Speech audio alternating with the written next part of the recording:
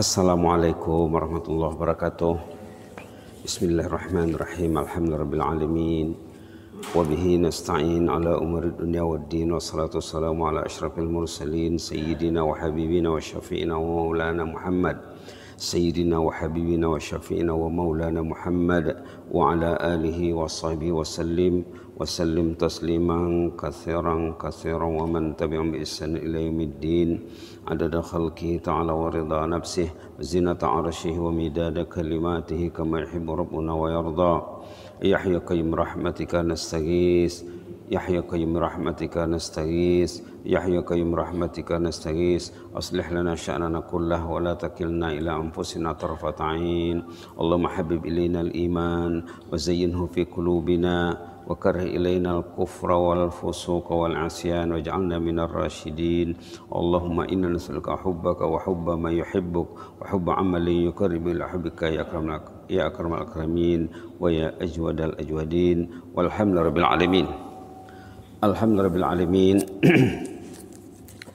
Jemaah kekasih Allah Yang berada di Masjid Salihin Alhamdulillah kita bersyukur kepada Allah. Kita sudah menunaikan salat fardu subuh berjamaah Seperti biasa kita lanjutkan beberapa menit bersama ilmu yang mudah-mudahan dapat meningkatkan keimanan kita kepada Allah uh, hari ini lanjutan kepada doa yang kemarin dalam surah Al-Hujurat ya. Ternyata dalam hadis Nabi ada satu doa yang diajar oleh baginda kepada sahabat Shaddad bin Aus namanya. Shaddad bin Aus radhiyallahu anhu katanya Rasulullah mengajarnya satu doa. Sebelum doa itu disampaikan, baginda mengatakan wahai Shaddad, apabila engkau perhatikan manusia sibuk menghimpunkan emas dan perak, perbanyaklah membaca doa berikut ini kata Rasulullah. Kalau hati kita satu hari galau ya, hati kita kacau karena urusan keduniaan. Kalau kita lihat manusia sibuk memikirkan kedunia, keduniaan, rumah, kereta, duit dan lain-lain, kata Rasulullah bacalah doa ini sebagai alternatif. Artinya doa ini mengungguli kekayaan emas dan perak. Itu kita buat tajuknya ya. Doa yang mengungguli kekayaan emas dan perak. Isinya ada 12. Ada 12 poin. Satu saja dapat sudah hebat orang itu ya. Apa teks hadisnya?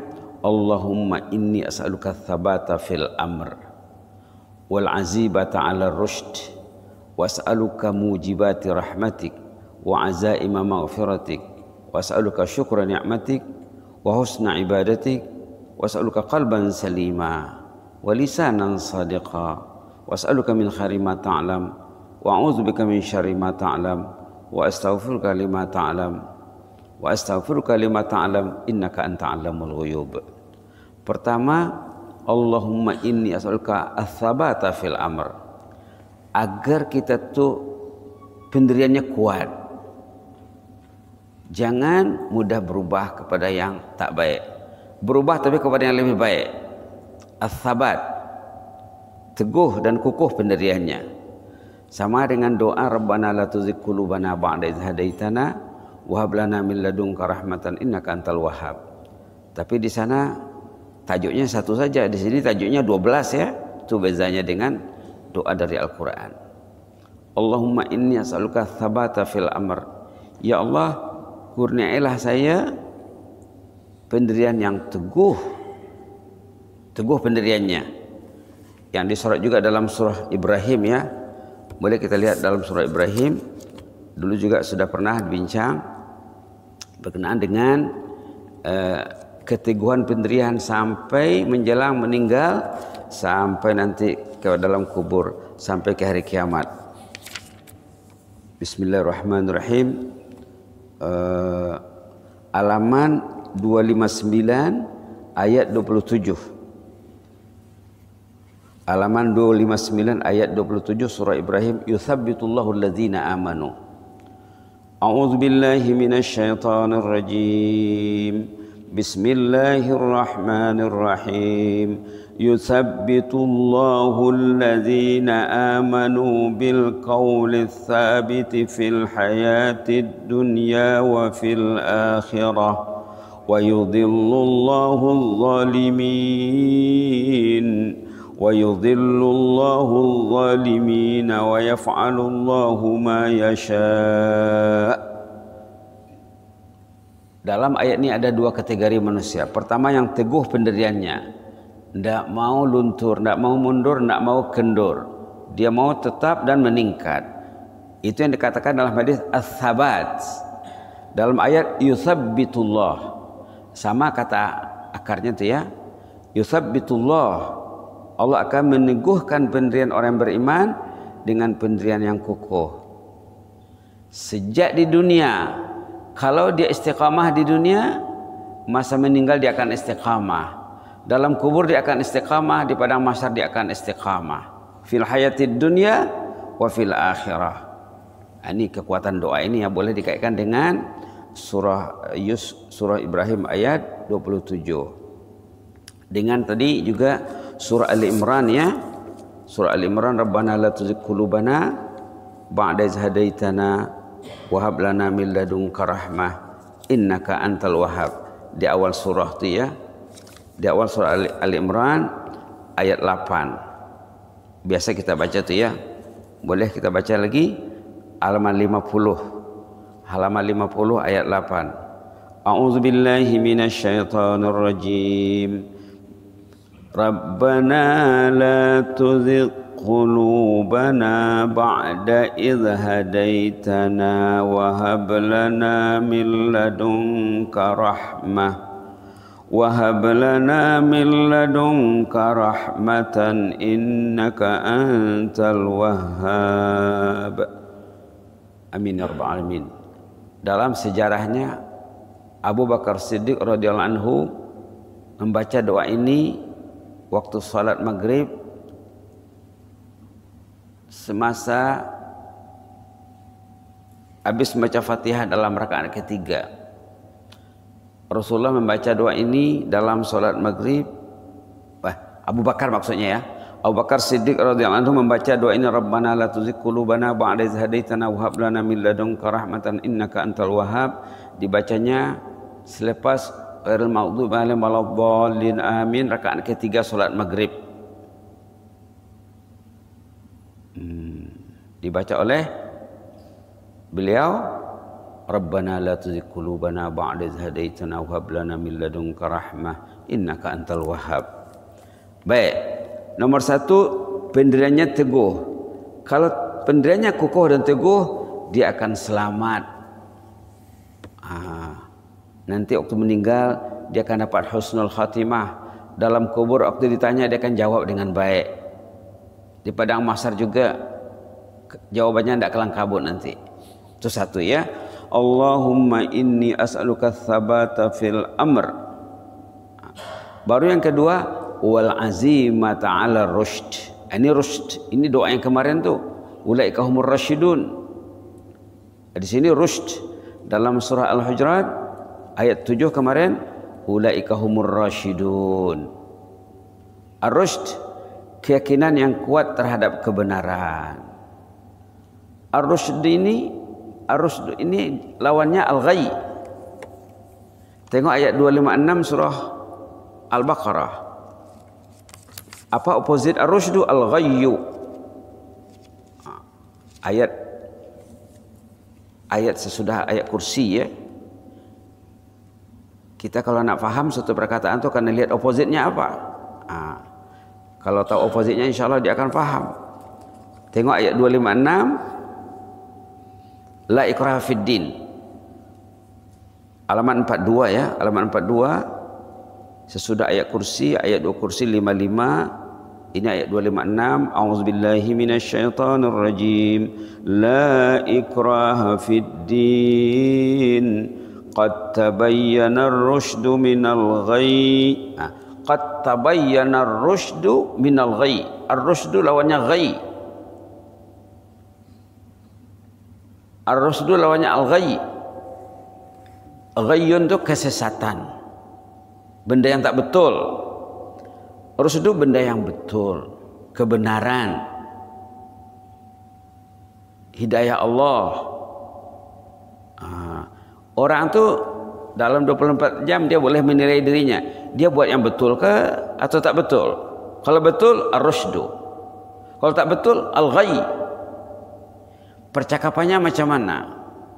Ah, kadang-kadang kita duduk dengan orang bercakap tiga empat patah perkataan cakapnya dah tak betul. Selahau. Ah. Dengar cakapnya dah melencong ke sana ke sini dah. Itu ghayyu namanya. Kita minta apa?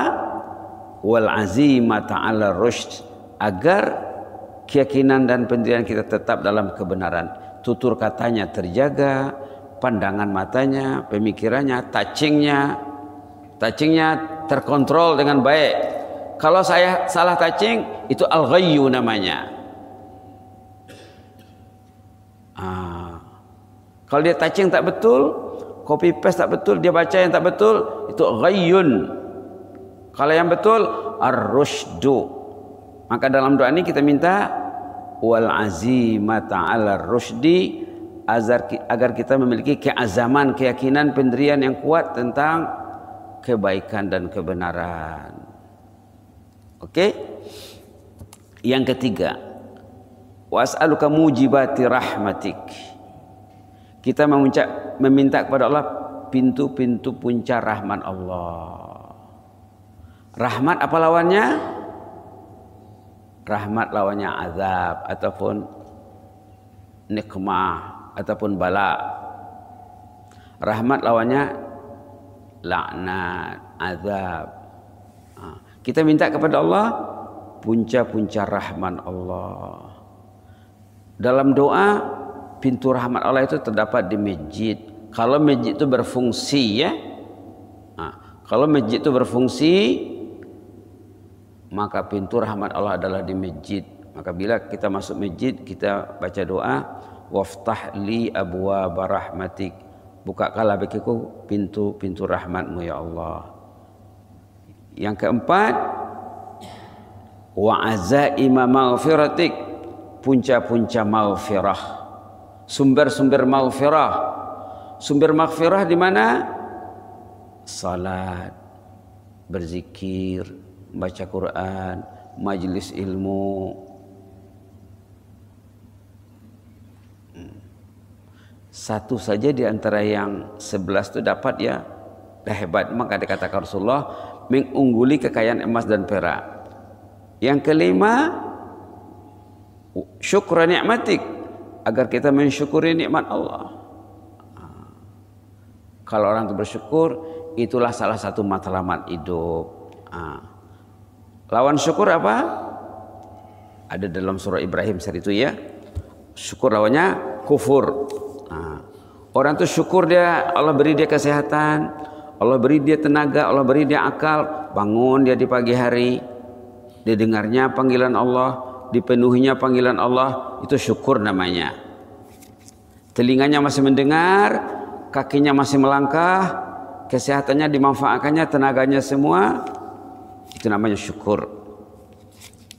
Ayat berapa saat itu? Ayat 7 ya. Surah Ibrahim halaman 256 syukur lawannya kufur. La in syakartum la azidannakum. Kalau kamu syukurkan nikmat itu kata Allah nikmat itu akan bertambah meningkat. Lebih daripada emas dan perak. Datang ke pagi hari ke masjid mengungguli kekayaan dunia ini dia raih ya lebih daripada emas dan perak syukur hmm. baik berikutnya wa husna ibadatik nomor berapa tu nomor enam melakukan ibadat terbaik Ibadat kita tu perlu dibaiki dari masa ke masa. Uduknya start dari uduk ya. Start dari uduk. Sepatutnya ada ada agenda untuk menilai uduk tu. Kita kena beruduk, suruh orang menilai uduk. Suami beruduk dilihat oleh istrinya, istri beruduk dilihat oleh suaminya. yang sudah ada ilmu beruduk ya. Salat juga begitu. Gerakannya, bacaannya. Itu di bawah poin apa? Wa husna ibadatik. Melakukan ibadat terbaik. Kalau boleh ibadat itu meningkat, meningkat dan meningkat terus. Barulah mengenai kalbun. Ini mintanya kalbun salim. Hmm. Kalbun salim adalah manusia yang selamat nanti dari kemudian. Apa lawan kalbun salim? Kalau secara literal salim lawannya saqim ataupun marid. Qalbun salim ada dalam surah Asy-Syu'ara. Termasuk dalam doa Nabi Ibrahim ya. Dalam surah Asy-Syu'ara Nabi Ibrahim meminta kepada Allah secara tidak langsung ya. Tapi kita boleh jadikan doa. Halaman berapa? 371 8 ayat 89 boleh start daripada 87 88 89 ini doa Nabi Ibrahim. Doanya dari dari ayat 83 lagi. Dari sebelumnya lagi. Dari ayat 82 83 kita lihat saja ayat 88 dengan 89 ataupun dari ayat 87 wala tuhzini. Ha. Boleh kita baca ya? 87 88 89 auzubillahi minasyaitonirrajim. Wala tuhzini yauma yub'atsun yauma la yanfa'u malun wala banun. Illa man atallaha biqalbin salim. Wala tuhzini. Jangan engkau hina aku nanti ya Allah. Bila yauma yub'atsun pada hari kita berbangkit menghadap Allah. Pada hari itu yauma la yanfa'u malun wala banun. Harta benda dengan anak pinak tidak ada berguna lagi di sana. Harta yang dikumpul, harta yang ditumpuk tidak berguna lagi kecuali dilaburkan untuk akhirat ya. Yang selamat siapa? Man atallah biqalbin salim. Orang yang datang menghadap Allah hati yang sejak sehat sejahtera qalbun salim. Ini minta dalam di sini apa? Was'aluka qalban salima. Qalbun salim. Baik berikutnya walisanan sadiqa. Lisan yang ber, yang betul dan jujur tutur katanya terkawal. Setiap dia bercakap terkawal tutur katanya. Karena perkataan yang tidak terkawal itu akan memusnahkan uh, tuannya ya. Uh. Berikutnya ini hebat sekali ya. Nomor 9 wa as'aluka min khairi ma ta'lam. Aku meminta kepadamu ya Allah kebaikan yang engkau tahu. Umum tu ya semua kebaikan yang Allah tahu kita apa juga? Apa sangatlah pengetahuan kita tentang kebaikan ini sangat terhad. Kita minta kepada Allah semua kebaikan yang Allah Ta'ala tahu. Lawannya wa'udzubika min syari ma ta'lam. Lindungilah aku dari kejahatan yang engkau ketahui ya Allah. Kita tak tahu termasuk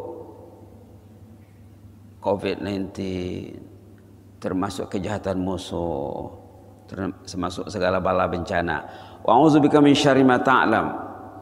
Berikutnya nomor 11 wa astaghfir kalimat ta'lam. Ampunlah segala dosaku yang engkau ketahui. Kita dah lupa. Dah lupa berapa tutur kata yang tak betul.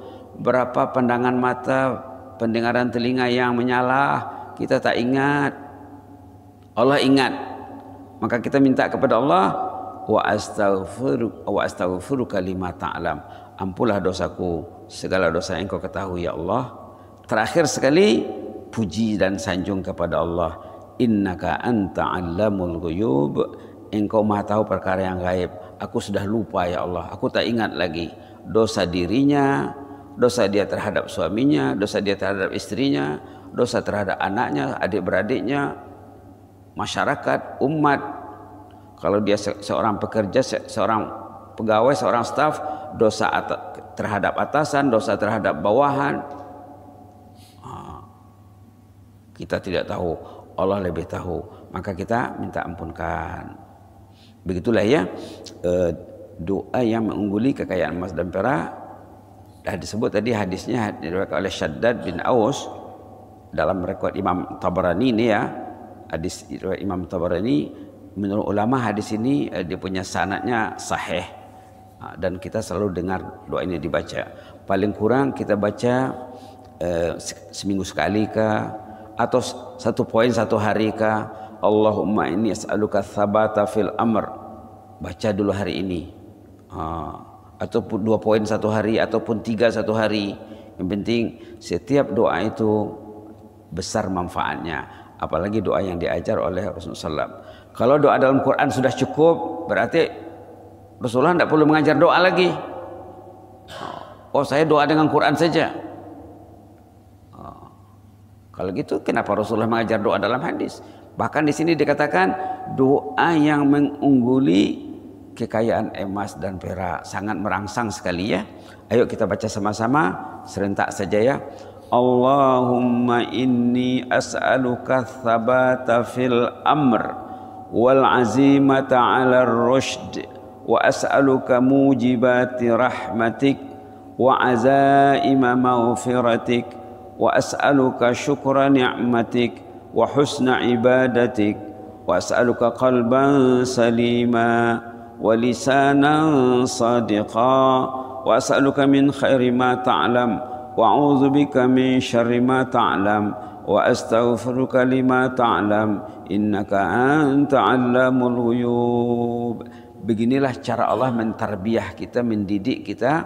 Kita diajar doa melalui Al-Quran kita diajar doa melalui hadis Rasulullah SAW, hadis yang sangat lengkap, perkataannya pendek tapi maknanya luas dan menyeluruh. Maka dikatakan di sini lebih mahal daripada kekayaan emas dan perak. Kita boleh fokus kepada doa-doa tertentu. Uh, kalau dapat baca semuanya lagi bagus lah ya. Baca sekali pagi sekali petang uh, begitulah. Mudah-mudahan di, di saat kita membaca itu Allah mendengar doa kita, malaikat mensupport doa kita ya. Doa kita lalu diangkat kepada Allah Subhanahu wa taala. Kita tidak tahu bila saatnya doa itu diterima Allah. Kadang-kadang di pagi hari, kadang-kadang di petang hari. Terutama kita fokus di waktu-waktu mustajab lah ya. Sebelum terbit fajar, sebelum kita berangkat ke masjid, waktu kita masih berada di rumah lepas sembahyang dua rakaat contohnya atau lepas sembahyang tahajud, kita bacalah doa ini. Kalau untuk dijadikan doa ramai, eh, ini ditukar dengan inna ya as'aluka ditukar dengan nas'aluka itu saja Allahumma inna nas'aluka thabata fil amr wal azim wal azimata al rusd wa nas'aluka mujibati rahmatik wa azaima maghfiratik wa nas'aluka syukra ni'matik wa husna ibadatik wa nas'aluka qalban salima wa lisanan sadiqa wa nas'aluka min khairi ma ta'lam wa na'udzu bika min syarri ma ta'lam wa nastaghfiruka lima ta'lam innaka anta alamul ghuyub. Itu gunanya belajar ya. A'udzu ditukar dengan na'udzu as'aluka ditukar dengan nas'aluka ini ditukar dengan inna ini basic-basic eh, bahasa Arab nih ini hebatnya bahasa Arab lain untuk diri sendiri lain untuk uh, untuk bersama ataupun untuk ramai ya Mudah-mudahan Allah mendengar doa kita. Amin ya rabbal alamin. Penutup kita baca lagi, saya baca lagi. Allahumma inna nas'aluka thabata fil amr wal azimata 'ala ar-rushd wa nas'aluka mujibati rahmatik wa azaima maghfiratik wa nas'aluka syukra ni'matik wa husna ibadatik wa nas'aluka qalban salima ولسانا صادقا ونسألك من خير ما تعلم ونعوذ بك من شر ما تعلم ونستغفرك لما تعلم إنك أنت علام الغيوب Mudah-mudahan istri membaca, suami membaca, anak-anak juga dilatih membaca doa ini ya. Kalau tidak doa suami, mungkin doa istri yang didengar Allah atau kedua-duanya didengarnya ataupun doa anaknya. Kalau kita kalau kita hebahkan, kita ajar anak-anak dan cucu baca doa ini, bila orang terbaring di liang lahat nanti dia akan mendapat ganjaran amal saleh yang diajarnya kepada ahli keluarganya atau kepada umat manusia ya amin rabbal alamin Allahumma fazna wa khfaz sultanana wa iyyana wal muslimin Allahumma faz sultana wa iyyana wal muslimin Allahumma faz sultanana wa iyyana wal muslimin Allahumma fazna min kulli su Allahumma fazna min kulli makruh fallahu khairun hafiza wa warhamur rahimin Allahumma aktub lana kullal khair biyadikal khair innaka ala kulli syai'in qadir Allahumma alaika bi'adaika a'da'id din Allahumma ansur المجاهدين في كل مكان اللهم انصر المجاهدين في فلسطين اللهم انصر المجاهدين في فلسطين اللهم انصر المجاهدين في فلسطين وانصر المجاهدين في كل مكان من الارض يا مجيب السائلين عليك بعديك اعداء الدين اللهم عليك بعديك اعداء الدين اللهم عليك بعديك على اعداء الدين فانه لا حول لنا ولا قوه ربنا هب لنا من لدنك رحمة إنك أنت الوهاب. ربنا أتنا من لدنك رحمة وهيئ لنا من أمرنا رشدا. ربنا هب لنا من لدنك رحمة وهيئ لنا من أمرنا رشدا. اللهم حبب إلينا الإيمان. اللهم حبب إلينا الإيمان. اللهم حبب إلينا الإيمان وزينه في قلوبنا.